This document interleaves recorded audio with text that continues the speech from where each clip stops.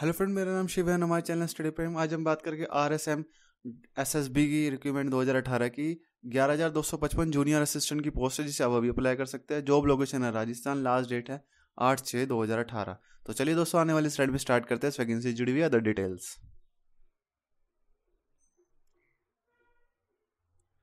Organisation name जो हमें दिया गया है, वो Rajasthan subordinate and ministerial service selection board है, जयपुर। एम्प्लॉयमेंट टाइप है गवर्नमेंट जॉब जॉब लोकेशन है Rajasthan name of the post है junior assistant total number of post है, ग्यारह हज़ार दो सौ पचपन। क्लर्क ग्लेड टू के लिए गवर्नमेंट सेक्रेटरियल के लिए तीन सौ उनतीस पोस्ट है। क्लर्क ग्लेड टू के लिए आर पी एस सी के लिए nine L D C junior assistant in departments officer under state government दस हज़ार नौ सौ सत्रह।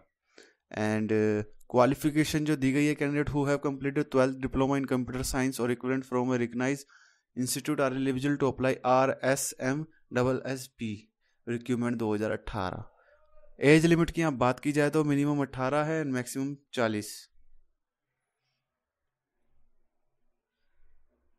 सिलेक्शन प्रोसीजर की यहाँ बात की जाए तो रिटर्न एग्ज़ाम और इंटरव्यू दिया गया है। एप्लीकेशन फ़ी की यहाँ बात की जाए तो जनरल और ओबीसी कैंडिडेट के लिए एप्लीकेशन जो फ़ी दी गई है वो है चार सौ पचास। आल उदर कैंडिडेट जिसमें S T S C ex और वुमेन है, उनके लिए एप्लीकेशन फ़ी है दो सौ पचास।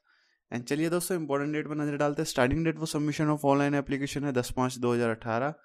And last date for submission of online application आठ छः दो हज़ार अठारह। तो दोस्तों, अगर आपको ये वीडियो पसंद आई तो लाइक शेयर और सब्सक्राइब करना बिल्कुल मत बोलिएगा क्योंकि मैं ऐसी वीडियो लेके आता रहता हूँ। और इस वीडियो से जुड़े हुए जितने भी लिंक्स हैं, वो आपको डिस्क्रिप्शन में मिल जाएँगे। धन्यवाद दोस्तों आप आज की वीडियो देखने के लिए। मिलते हैं आपसे अगली वीडियो में। धन्यवाद।